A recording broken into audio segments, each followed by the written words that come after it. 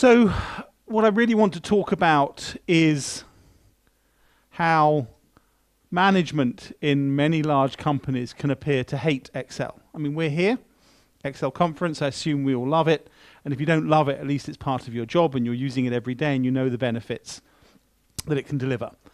And at the same time, our users love using it. You take someone's Excel away, uh, probably the second most thing taking email away, people hate it. And yet, certainly we see a lot of projects in our large clients that are explicitly called Kill Excel.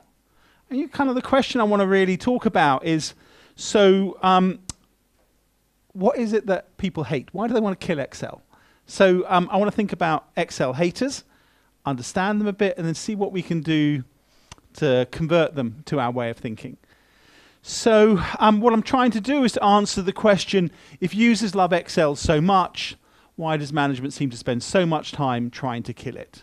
Um, and when we've thought about why, what can we do about it? And um, that's what I'm going to do. Before I get into um, that, let me introduce myself. Uh, my name is uh, Leslie Spiro. Uh, I'm the CEO of Tick42. Tick42 is a Bulgarian software house. Clearly, I'm not Bulgarian, but almost every. I've got a great accent. Almost everybody uh, in the business, uh, in the company is, and we have about 60 developers uh, in Sofia. Uh, and as a company, we tend to work on project stuff for large enterprises uh, and major data vendors, particularly uh, investment banks, but not exclusively. Um, we're active in open source. We work with OpenMAMA, which is hosted by the Linux Foundation, which is a market data thing. We provide Reuters and Bloomberg bridges and we work with Symphony, which is an enterprise chat company, which um, is very interesting because it's got very tight security between companies, so a very kind of controlled way. Um, all the encryption occurs inside the enterprises. So it's got a lot of traction in investment banks, but I think it could be quite interesting for those of us who have who are looking in enterprises for conversations between companies. But not here to talk about Symphony.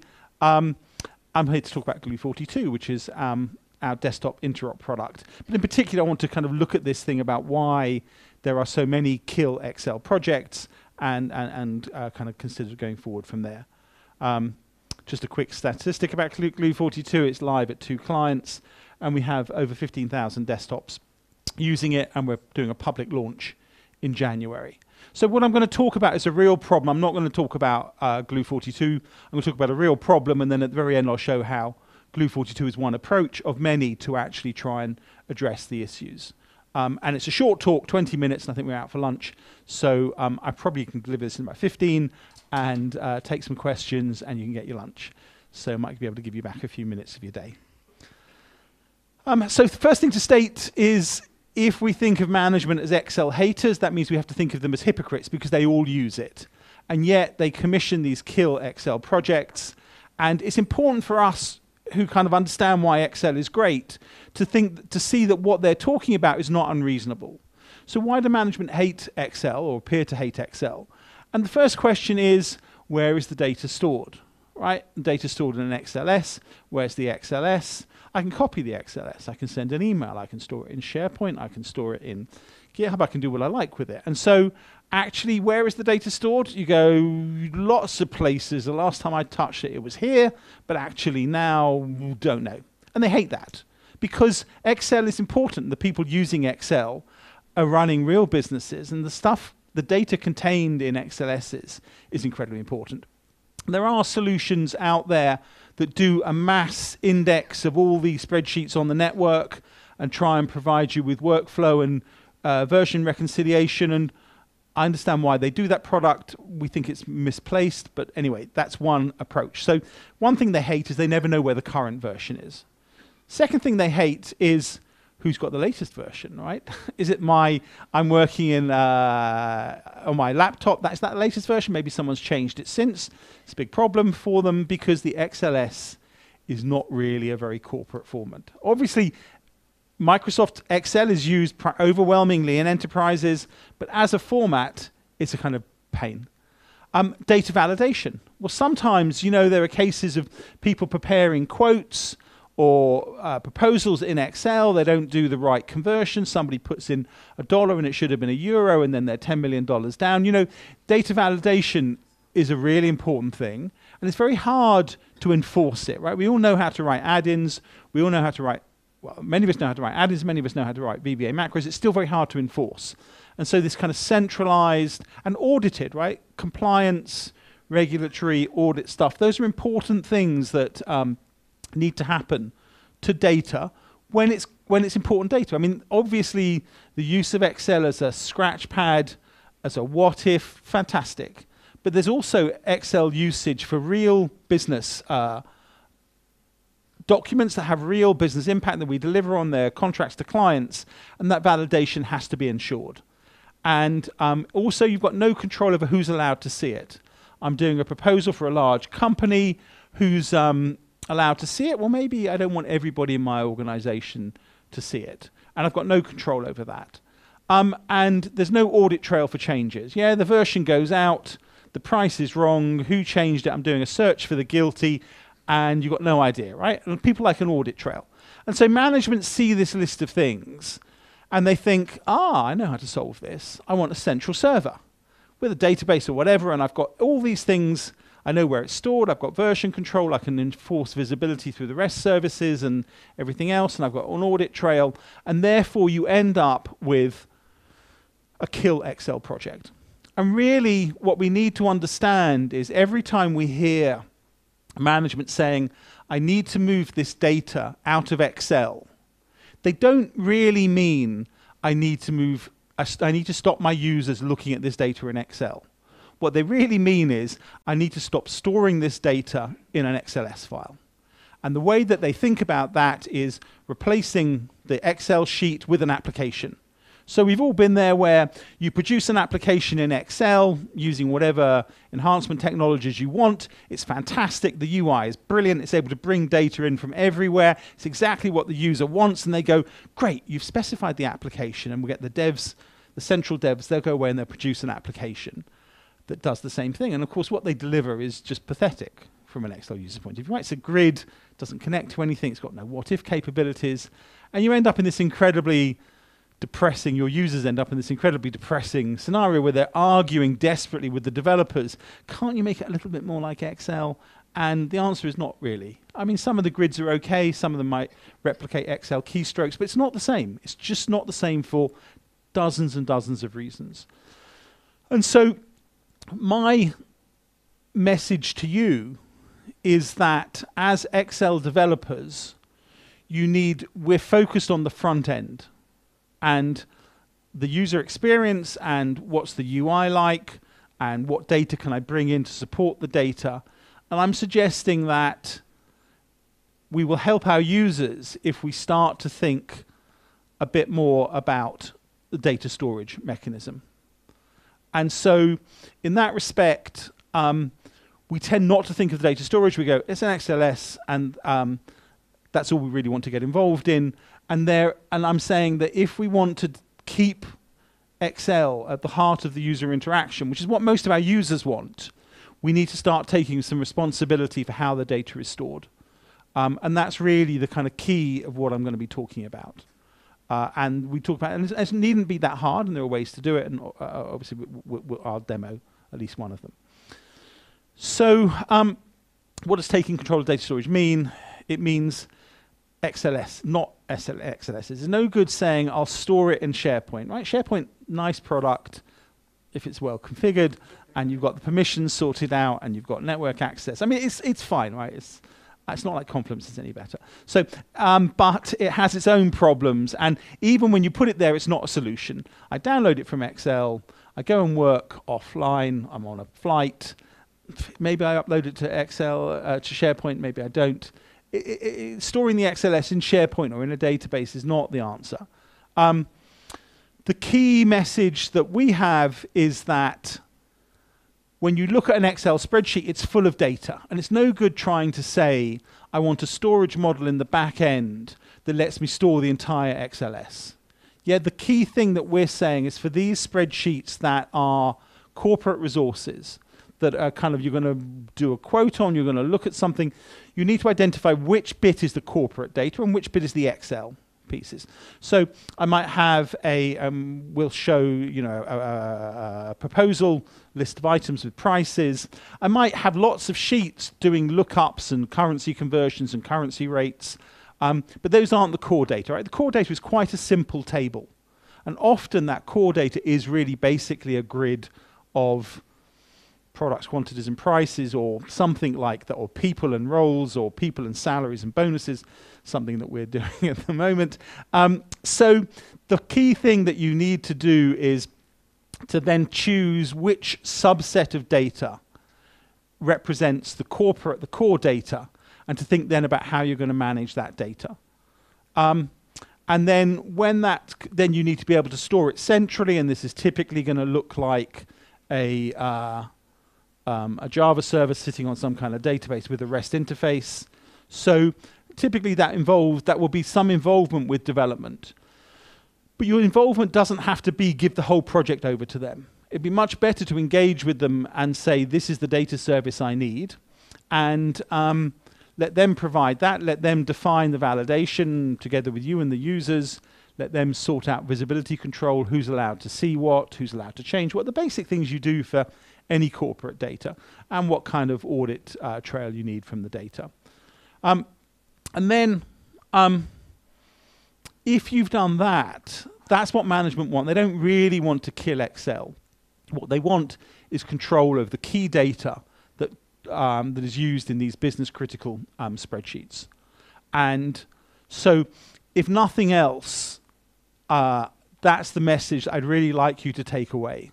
That people talk about killing Excel, but they don't really mean it. What they mean is, I want control over the data, and um, and particularly around validation, who's allowed to see it, and, and logging changes. And, and that doesn't necessarily require a big change, and it doesn't require you to store the XLS in the backend database. That's the, those are the key messages that I think are generally applicable for any of you who are doing that kind of Excel project. Right, the, the project that you just saw before, the modeling piece, doesn't apply here, right? The model is it's primarily a what if, the, the model, the complexity, I'm not, what I'm talking about doesn't apply here. The, I'll show you some examples where it does. And we've all seen those kind of things, particularly for business critical spreadsheets that often have grids of people or products or prices, that kind of stuff.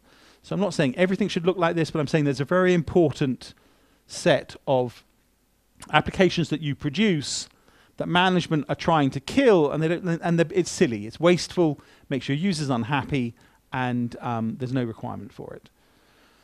So um, I'm going to talk about. I'm from Tick42.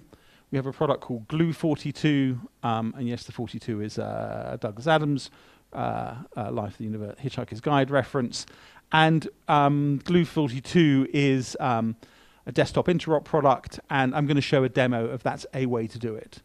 But don't think of this as on, this talk only as a product pitch. The, the problem that I've identified is a real problem and that we should really address. And there are lots of ways of um, dealing with this through add-ins, through VBA, through whatever. But actually, I'm going to show you a nice solution that we think could make your lives a lot easier. So um, I'm not going to go through Glue42 in any detail. It's a desktop interop product, and it allows web apps and desktop apps to work together.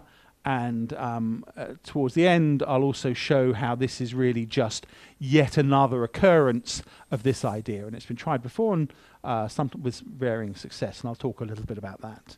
Um, so you've got 10 more minutes to go, and uh, should, we should be done. So um, let me just show the demo piece now very quickly. Um, or not, as the case may be. Um, so, as I said before, many of our um, clients are large investment banks. Okay, let's try that, and so that you can share in the glory of the Glue 42 demo. Um,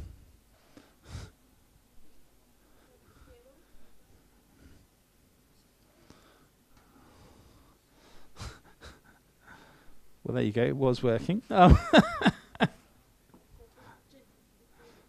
yeah.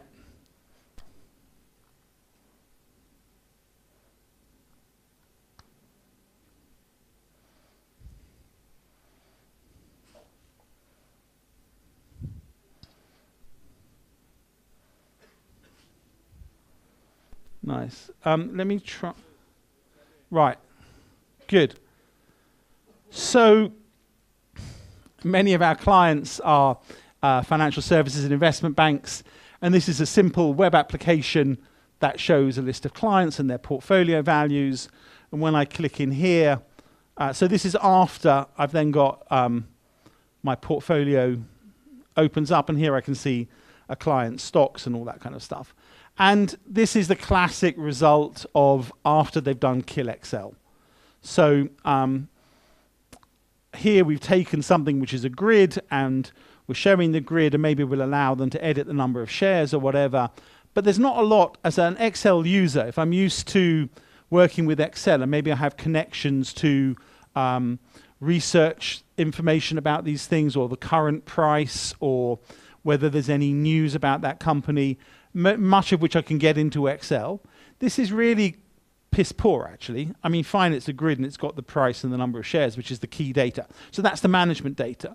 But actually, working with it in um, a grid is really a waste because what I really want to do is to um, work with it in Excel. And um, at the click of a button, I get a uh, template opened with the data in Excel. Um, and this has taken a template and it's taken the um, core data um, and patched it into the Excel sheet. And um, I can then have whatever visualizations that I want. So the idea is that the data itself is managed by a web application. Sorry? The data, the data itself is, I will take questions, but ideally not in the middle of the uh, presentation. The data is in the Excel spreadsheet, and um, I've got a web application that is um, managing that data. And what's really important is that it's a real-time, two-way data change. So if I change the number of Netflix shares I'm holding to minus two, then what you see is that the actual validation happened in the web application. And that means the web application received the data change, validated it against the server held rules, and sent an error back to Excel. And then you'll notice you can choose whether you want um, a list of errors in the spreadsheet or you just want to use tool um, tabs. But the actual user's focus remains in the spreadsheet. And so if I fix it and said, no, of course not Netflix, big fan, going to buy a load of it, then that's gone back, it's been validated and it's saved. So the key message in that interaction is that the user is working with the data in Excel exactly as if it was on a sheet, but when they go save or they change it, it's not saved to an XLS, it's saved to the server. And with that technique of being able to take an application .NET web app and um, use that as the owner of the data, as your access mechanism to the data, and then um, but keeping the user interface, the user interaction with the data in Excel, we think you can have the best of both worlds really easily. And this is like, uh, I think, 10 lines of JavaScript or whatever to put it in, and you load an Excel add-in to support it. Um, and so that is a way in which you can move um, management of the data, control of the data, away from the Excel spreadsheet out into a server with the full set of um, data processing controls that management want. Incredibly easy. And this spreadsheet, you carry on working using the skills you have and giving the users the experience they want. And that's our message. So that um, take some responsibility of moving the data somewhere else using a tool like Glue42 or something else, and you can continue to work with your users in Excel and keep that as their primary user interface.